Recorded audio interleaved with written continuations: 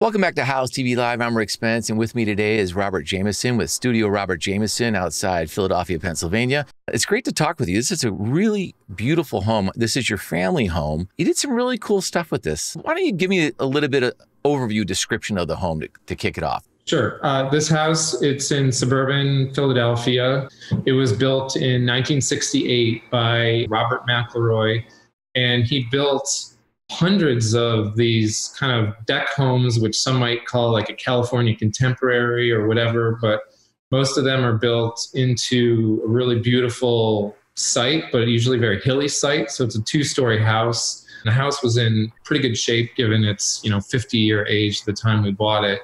However, the kitchen and the bathrooms were original. So those were the, the main things that we wanted to tackle. And then we, we made some other cosmetic updates primarily to the family room in the lower level. Let's let's start with that. That's such an appealing space because you repurpose some gym floor which is so cool. You don't see that very often. It just gives it a fun vibe right off the bat. I had relationships with some reclaimed wood vendors. So I reached out Jeff Janson of Urban Evolutions. They're based in Wisconsin. He immediately sent me back two images of gyms in Wisconsin. One had more of a brown paint scheme and the other one had sort of these reds and blues said yes on the reds and blues one worked with him to create a mix of 25% painted boards you know kind of a mix of reds and blues and then 75% of just the the field of hardwood. I'm curious about how you laid it out and how much effort did that take to kind of dial it in and agree on, okay, this is what we're doing?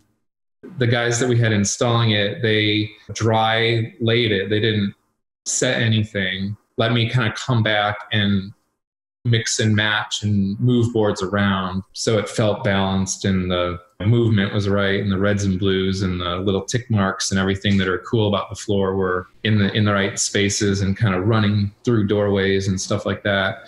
And it's beautiful like very thick. It's one inch thick maple flooring. So they were like, "You want to refinish it, right, and plane it down so it was brand new." And I was like, "No, no, no, no, no, no, no. We're keeping the color." Yeah, so that was that was like one of the things that scared me at first. Tell me a little bit more about the space in terms of. Are, are there any uh, new built-ins or anything else that was structural that you did in the space?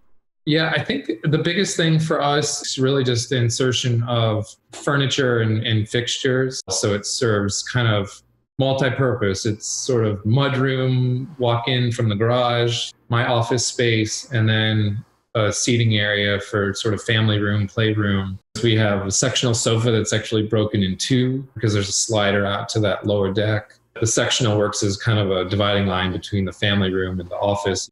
The table that we're using as sort of my workspace desk that's a 12 foot long reclaimed desk that we got. So I think one of the themes that kind of flows through our house is a balance of modern and kind of reclaimed materials you know things like that desk or you see the bookshelf we have has some you know kind of weird found objects on the shelf and the old orange spring. And there's a, a chair in the space next to the television that uh, was made by an artist. And it's it's basically cast concrete in a very modern form but it has a an old style chair sort of cast into it. So it's just we we always like that kind of play on modern and old, old and new, I guess.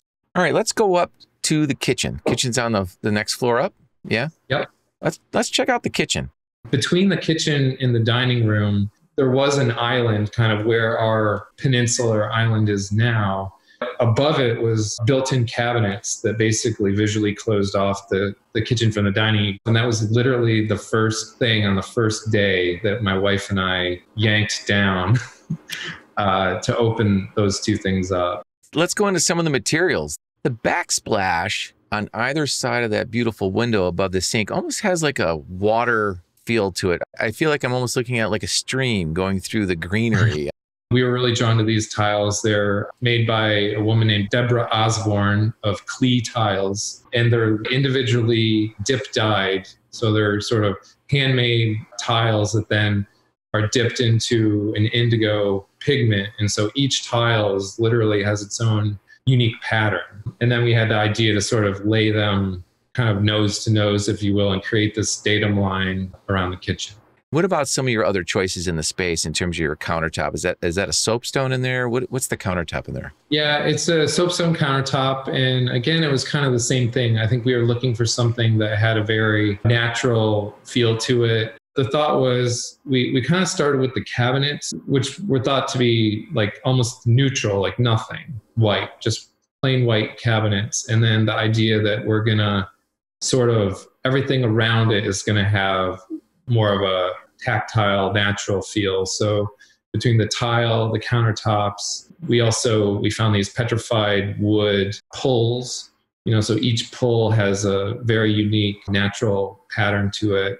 You know, so that against the white is the thing that really speaks. You know, as opposed to the cabinets themselves. So, and I think we kind of just took an inverted look at materiality where normally it's like okay what are the cabinets? And then everything kind of is an accessory to that. And instead we're like let's make the cabinets be the background to the other things. I love that. I love the petrified wood uh, hardware. That's awesome.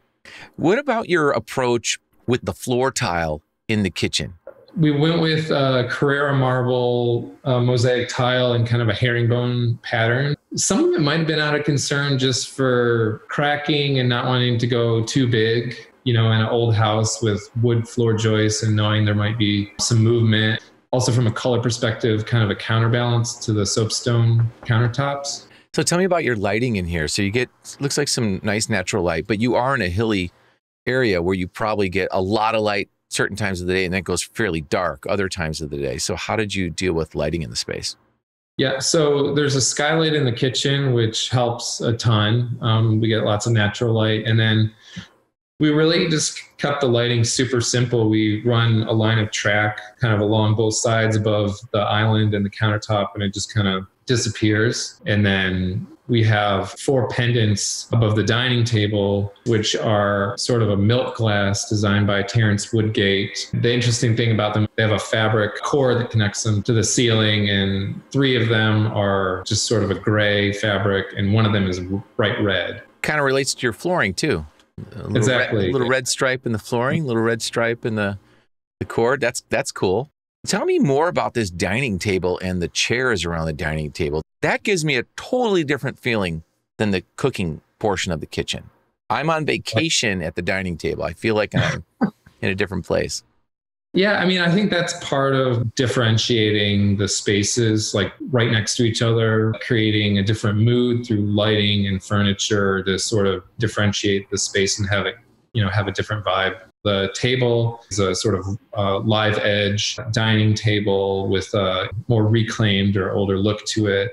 The dining chairs were, were, handmade by a friend of ours named Leslie Oshmann, who has a company called Swarm based in the Netherlands. And she purchases uh, re- old paintings buys these old sort of mid-century modern school chairs and then she takes the paintings and sort of collages them onto the seat and back and then laminates them with sort of polyurethane or whatever to make them finished. So each chair is unique, it has its own, you know, look to it. That is awesome that someone that creative is doing that. So uh, you got time for one more space? Sure. Let's let's check out the bathroom. So this is your uh, guest bathroom or master bath? What is it? Master bathroom. And I think we were looking to have kind of more of a spa like feel to it. It's modern, but again, we're still using um, sort of natural materials. There's a Carrara tile floor with small mosaic tiles that then go up the back wall of the shower. And then on the side walls, we have a natural slate wall tile that's larger format. We knew we wanted to have a, a rain shower, but the ceilings are kind of low in the space. And so we found a, a rain shower that's actually a chrome plate that's flush mounted to the ceiling. And the rain shower is literally just flush with the ceiling, comes right out. I love how you can go in there and you could spray that down. There's almost no drywall surface whatsoever in there. There isn't. It's only the ceiling.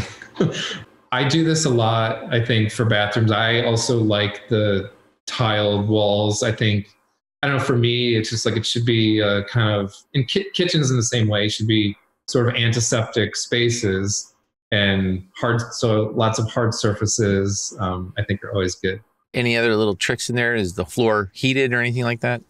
Uh, yeah, the floor is heated, which uh, we love. Always recommend that that to clients. Tell me about your choice of the wall mount sink and why that kind of helps in a small space like this. I almost exclusively use uh, wall mounted vanities. I just really, I think they make the spaces feel bigger by getting up above the floor. I use a wall mounted faucet. I tend to prefer those. I just feel like they have a little more, more elevated look. They're easier to clean. You don't have to kind of clean around them. The floor is allowed to run fully to the wall. And, you know, this particular vanity, we don't have drawers across the full face of it. They're sort of asymmetrically loaded on the vanity. That's something that I try to incorporate into or rec- recommend to a lot of my clients. The whole experience of this home is very much like a, a modern well, treehouse isn't doing it justice, but it's a that treehouse vibe in a modern home. Really nice. Thanks. Yeah, I think I mean that's what we love about the house. Just it's so connected to to nature and the inside of the outside. So that's one of where this house it just inherently does that already. It was just easy. What a great space. Thank you so much, Robert. Really appreciate it. Congratulations on this beautiful home, and I hope you get many, many years out of it. And uh, can't wait to see more of your projects with your clients in and around the great state of Pennsylvania. Great. Thanks so much. Okay. Take care.